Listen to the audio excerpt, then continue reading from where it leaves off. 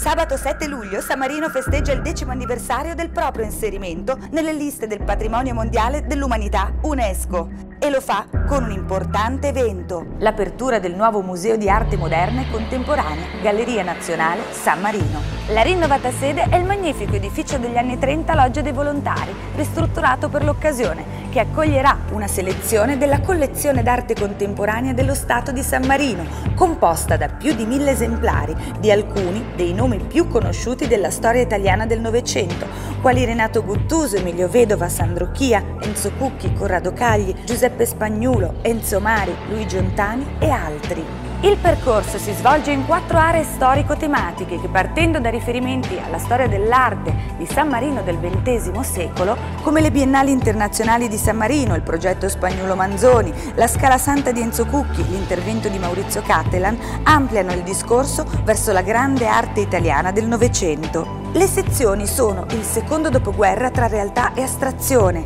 arte contemporanea e linguaggi sperimentali, un nuovo classicismo tra tradizione e innovazione ed infine l'archivio performativo dedicato a progetti realizzati negli anni più recenti e contemporanei, che sarà costantemente aggiornato. Il museo è un progetto degli istituti culturali promosso dalla Segreteria di Stato Cultura della Repubblica di San Marino in collaborazione con il Maga di Gallarate. L'installazione di Enzo Mari è una delle più eccezionali opere della collezione della Galleria Nazionale di San Marino. Si tratta di un palco, una messa in scena di un dialogo tra cinque personaggi, Fidia, Galileo, Duchamp, i Sette Nani e l'Idiota, che parlano, provano a comunicare tra loro sulle relazioni tra arte e scienza e tra arte e la vita di tutti i giorni. Inaugura oggi la Galleria Nazionale di San Marino, un museo prestigioso dedicato all'arte moderna e contemporanea con una sede rappresentativa eh, di nuovo restauro, con una collezione permanente che si è costituita lungo gli ultimi decenni a partire dal secondo dopoguerra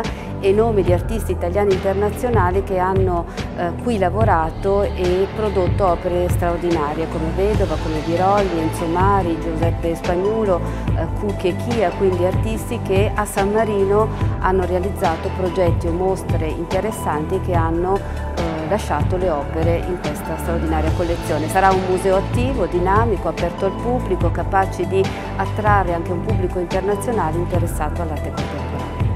La Galleria Nazionale di San Marino vi aspetta ogni giorno dalle 10 alle 18 nelle logge dei volontari al Giardino dei Liburni.